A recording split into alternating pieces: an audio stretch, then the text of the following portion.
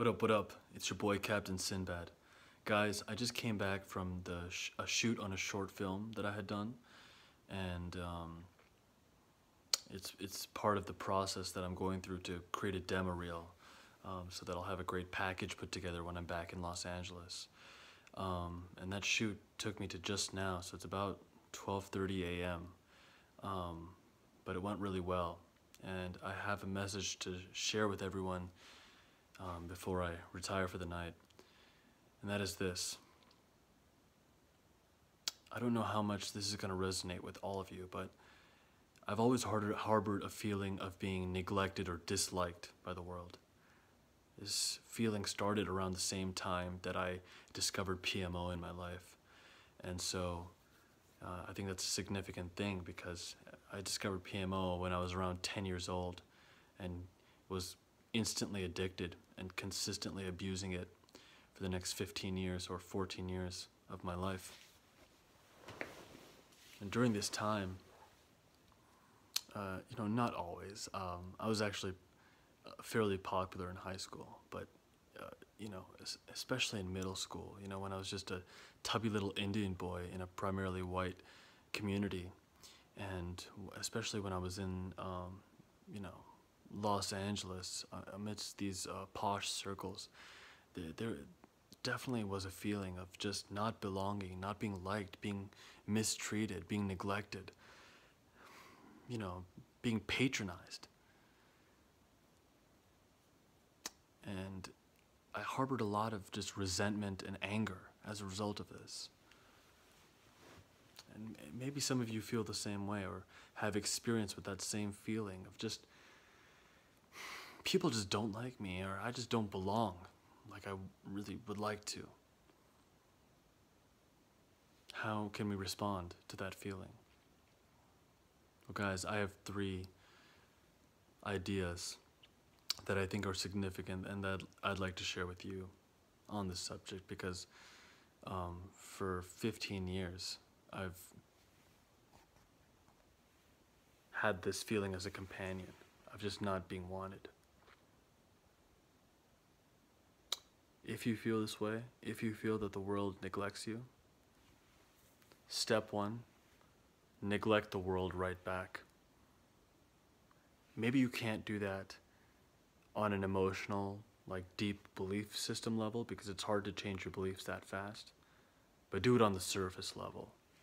On the surface level, just make a constant, uh, sorry, instant decision. Draw a line in the sand. I will no longer care anything about what people say about me, think about me, or don't think about me. I do not care at all. If the world neglects me, fine. I'm nobody. I neglect the world right back. Step two. Fill that lack of attention, fill that void that you've created by your I don't give a fuck attitude by becoming monomaniacally obsessed on just three objectives. Pick three things that you want to achieve in the next six months. And become monomaniacally focused on them. Write them down on a piece of paper and look at them every day, three times a day. Visualize them. them. When you're horny, when you're feeling no fap urges, channel those urges into the achievement of those three objectives.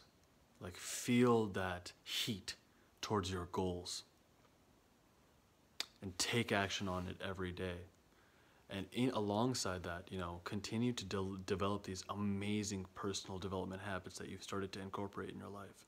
Semen retention, a high vibration diet, early rising, consistent exercise, meditation, pranayama. Do all these things so, so that you are perfectly primed towards the achievement of your objectives and work towards them every day. If you if you are consistently thinking about your objectives and chasing them every day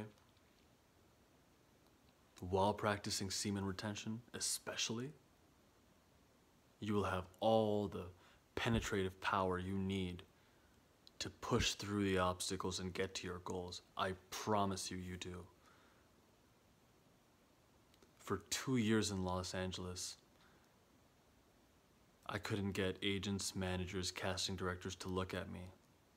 And in just three and a half months of semen retention.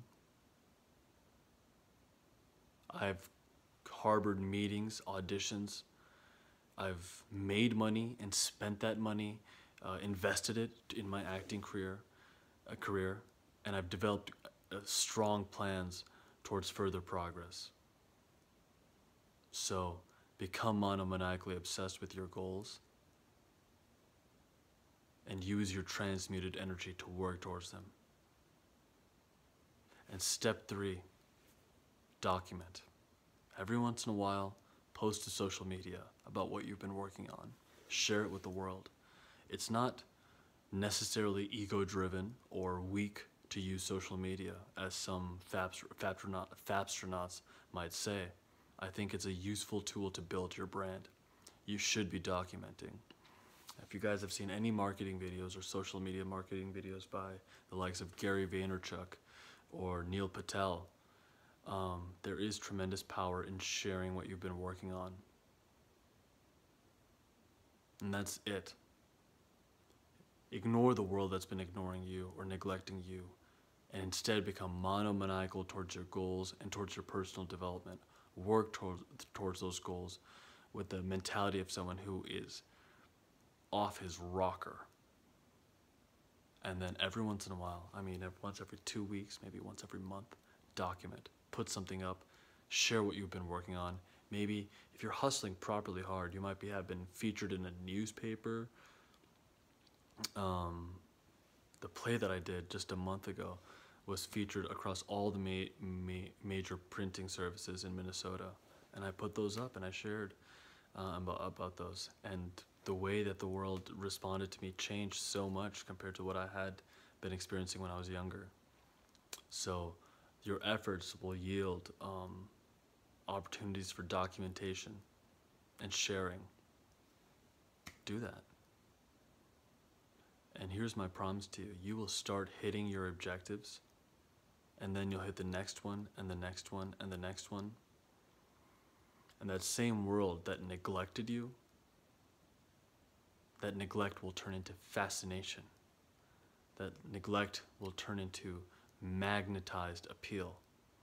That neglect will turn into deep attraction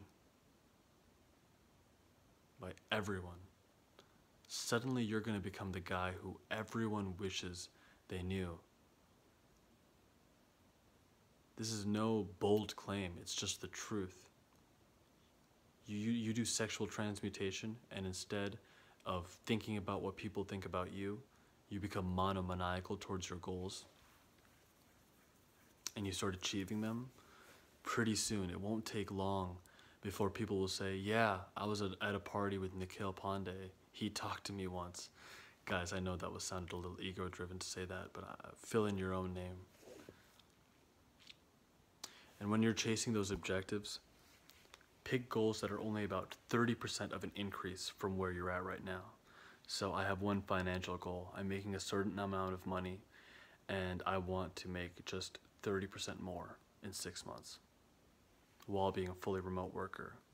My other goal is to sign with a top 15 talent agency. And my last one is to meet a spiritually minded girl. I'm going to leave the video at that.